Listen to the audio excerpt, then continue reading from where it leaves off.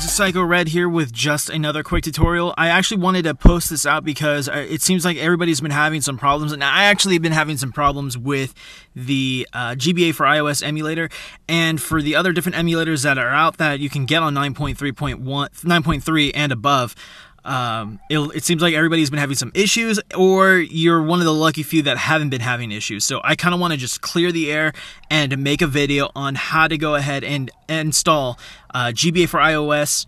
Uh, and other emulators on your iDevice and show you how to get ROMs for free. So let's go and get into it. If uh, shout out to actually Dino Zambus and uh, to uh, everything Apple Pro. Uh, these guys have been the front runners of these uh, videos on how to get these emulators on your iDevices. I wanted to give those guys credit. Um, for Operation iDroid, uh, if you get a chance to check this out, uh, hopefully this might be a solution on how to fix your emulators. Uh, I noticed that you've been having some trouble, and I wanted to see if I can give you uh, some help. So without further ado, let's go ahead and get into it. So uh, everybody knows the date trick is if when you set your when you go into settings and you go under date and time under general, you can actually close or you can set automatic, you can close set automatic, excuse me, and you can set your device back a couple years and install these emulators onto your iDevice. Everybody knows how to do that. Uh, if you don't, um, all it is is pretty much you're going to the application website. So like GBA for iOS, you would go to their site, download their um, their emulator in normal time, and you'll notice that the emulator won't install. So let me show you how that's done. So when we go to Safari and we go to GBA for iOS app.com, we're going to go and click under download GBA for iOS. It's going to ask us to install. We'll hit install and when we back out, make sure you back out automatically. And if you notice, I'm going to see if this application does it this time. I've been running tests on this all day and I've been noticing there's been a couple of hiccups. If you notice the emulator, and it's perfect. The emulator, if you notice very closely, look at it if you need to rewind, the emulator didn't install all the way. The actual white bar cut off maybe about a portion or a fourth of the way, or a three fourths of the way, and it didn't install completely. And I've noticed that when it does that, the actual emulator, when you do the date trick and click on the emulator, it won't install and you'll just be stuck there with a gray emulator. So tap the emulator again or the application, I should say, and make sure that it goes all the way. Let's see if it does it again. See how it's closed? Perfect. There's it installed completely right there. So we're gonna hit done. After we've done that, we're gonna go and we're gonna do the date trick. We're gonna go under settings, click back, and for me, I've been hitting up 2009. There's 2014, don't go back to just 2015. Go back pretty far. Like I've been going back to 2009.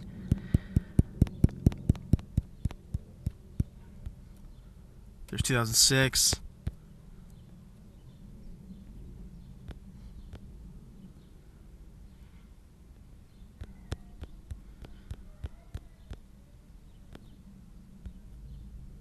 We'll do 2005, just for the sake of the video and we'll tap on the emulator. Give it a second to install. It sometimes these things take a little bit of time. Um, so what I would suggest is just giving it some time. It may not go right then and there automatically, but just give it some time and it'll install. So as if you notice, it's installing right now and it's completed. So we should see the app and there it is. Awesome. Perfect. So when we launch the app, we need to trust it. So we do need to set our date back to normal time. We'll hit go. We'll click back on general, go to uh, profiles and device management, and it's this China VDI one. We'll trust on that, hit trust, back out, and the application won't work. So what we need to do is go back to the settings, go under date and time, don't set your device back to 2015. It will not work. So make sure, you, again, go back down to, if you want to, try testing out different dates. Here's 2010. I'm sure it will work for that. We'll click on the emulator and it launched perfectly. Great. Perfect. So we need to install games. We can't do that with a device that's, you know, in the past. So again, we're going to set the automatically back and we'll launch the device from uh, double clicking the home button. We cannot launch the app from the home menu.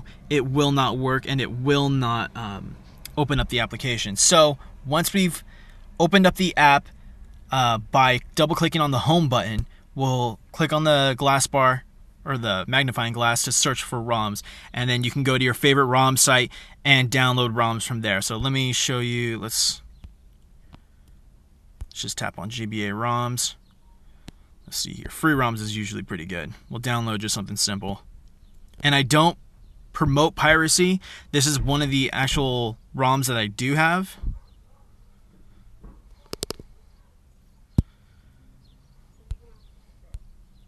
Let's go back and do that again.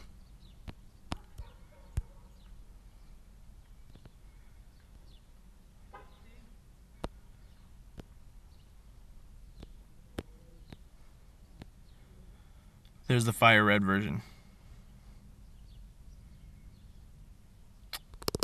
Excuse me. I, if you do get these uh, advertisements, just try a different site. So let's try.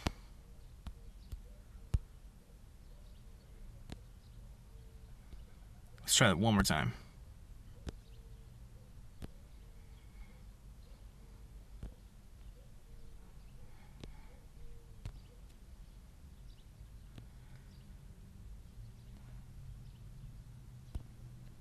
There we go. We'll hit direct download. We'll download it, save. Awesome. So it's saved. Game's already in there. So we're going to go ahead and tap on it.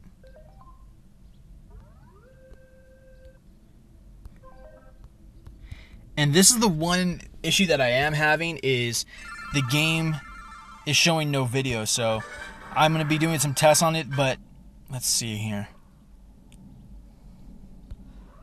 I've been noticing that it has been sort of glitchy within the uh, within the video, so I'm to let me see here if there's any sort of settings for that.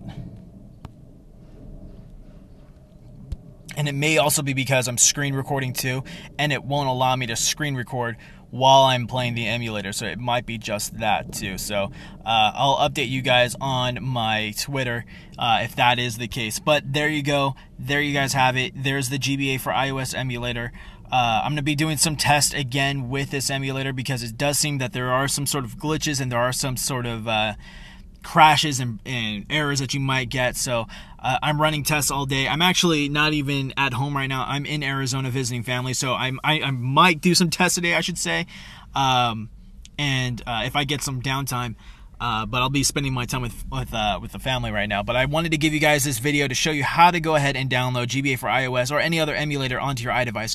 Again, make sure that application installs all the way and if it cuts off half, halfway or a quarter of the way you'll know that it didn't install. Just retap on the application and it should work. Again i hope this help you, helps you guys out. For all things apple plus this is psycho red here signing off and i hope you guys have a good rest of your uh, of your weekend. Okay guys? Peace